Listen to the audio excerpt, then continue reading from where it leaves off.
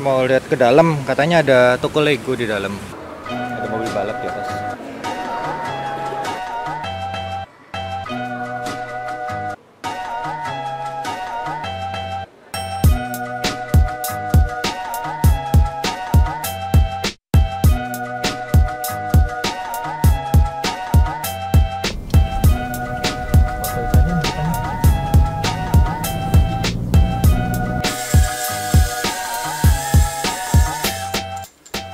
Jadi pemirsa, eh, di sana saya nginep di tempat yang namanya Fraser Place. Fraser Place ini tempatnya murah ternyata. Jadi eh, saya pesannya online ya pemirsa. Saya nggak pesen langsung di sana karena kalau langsung di sana, ini kalau anda lihat di sini, harganya lihat, wih satu juta seratus per malam. Jadi saya pesannya online. Nah, jadi anda jangan jangan khawatir ya. Nah, kenapa saya pilih, Fraser Place Kuala Lumpur ini? Karena jaraknya deket banget sama Petronas. Nih, deket banget, deket banget, deket banget, deket banget. Jalan kaki bisa. Nah, terus berapa saya dapat harganya? Saya dapat harganya ini adalah 554.155 rupiah per malam. Pesan dari Traveloka, juga di Agoda juga ada. Anda bisa pesan murah-murah.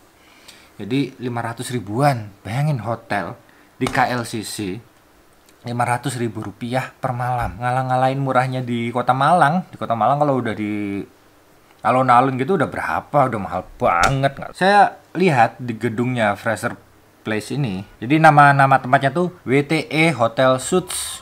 Suits Suits Suites itu loh KLCC dan saya dapat Studio King Suite B17 dan bla bla bla itu nomor nomor kamarnya ya dan cara pemesanannya juga enak banget tanpa kita harus ketemu dengan resepsionis. Jadi saya lihat itu di sana namanya gedung Fraser Place-nya itu ada dua, ada yang di depan sama ada yang di belakang. Nah, yang di belakang itu itu adalah apartemen yang disewakan. Sementara yang di depan itu saya rasa eh, adalah hotel. Jadi gedungnya dua gitu. Depan hotel, belakang apartemen. Nah, yang apartemen itulah yang harganya bisa miring murah-murah. Dan kita tidak perlu lagi ketemu dengan resepsionis. Orangnya itu hanya mau seperti ini. Seperti itu ya. Hai Arya, ya, full address is Fraser Place Kuala Lumpur, lot 163 nomor 10 Jalan Perak Kuala Lumpur Malaysia. Room B sekian. The key and card are at the letter box. Jadi ada di apa namanya locker, locker. Jadi kunci kamar ada di dalam locker.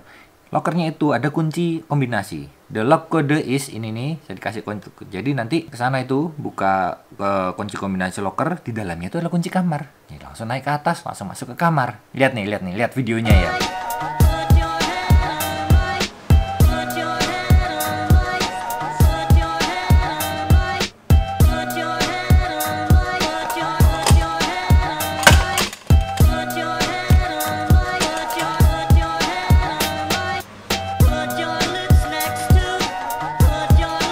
Jadi di sini tuh sistemnya kamarnya ngambil di locker, jadi nggak ada resepsionis, nggak ada nggak ada repot-repot macam-macam. Soalnya datang ke locker, ambil dikasih kombinasi kunci lockernya, ambil kunci, naik ke atas. 12, 14, Kita dapat lantai 17. 17.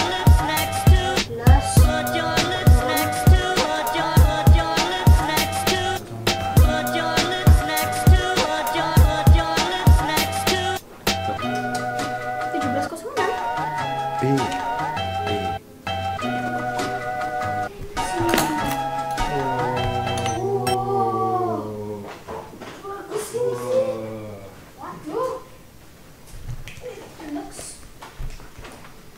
Oh, tempatnya keren. Waduh, perlu kamar mandi. Ini kamar mandi. Lepas dulu sepatu. Oh ya, pas. Kak, kamar mandi. Kakak mau pipis dulu. Wah, Kamar mandinya coba lihat. gede.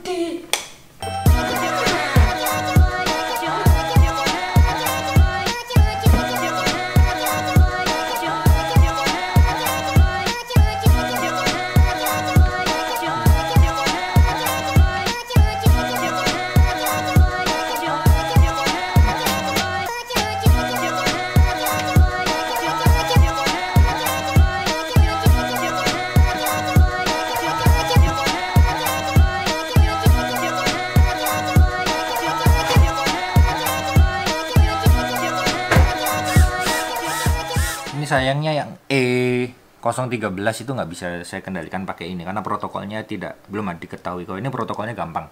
E10, E11 protokol bisa saya kendalikan. Remote-nya saya ganti, saya ganti pakai Devo. Anda bisa coba banget. Oke, jadi saya hmm, sangat puas berada di Malaysia. Saya dan anak saya benar-benar menikmati apartemen itu atau hotel itu yaitu apartemen sih sebetulnya. Lengkap, dapur. Pagi-pagi itu anak saya bikinin saya anu pop mie. Jadi dia masakin air sendiri pakai kompor infrarednya itu. Saya sendiri nggak tahu caranya gimana nyalain tapi dia bisa nemu gitu tit nyala terus mendidih airnya dia masukin. Nah setelah kami dapat kamar, setelah kami dapat kamar, akhirnya kami ke Aquaria. Aquaria itu seperti SeaWorld, tapi di tengah kota ini tempatnya. Jadi masuk ke dalam kota. Ini adalah Aquaria, Aquaria tempat kayak SeaWorld tapi mini, tapi binatangnya lengkap. Ada itu ada. Ada stingray. Stingray, Itu.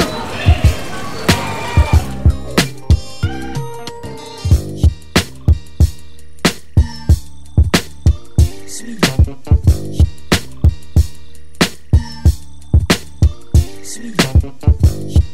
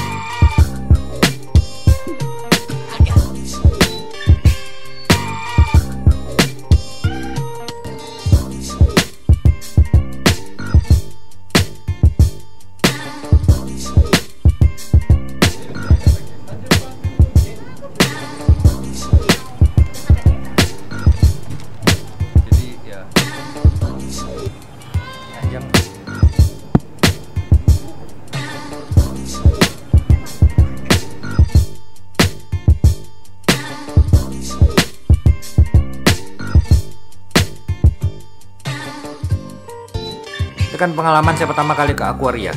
Ternyata di situ eh, di hampir di setiap sudut tuh ada tukang foto.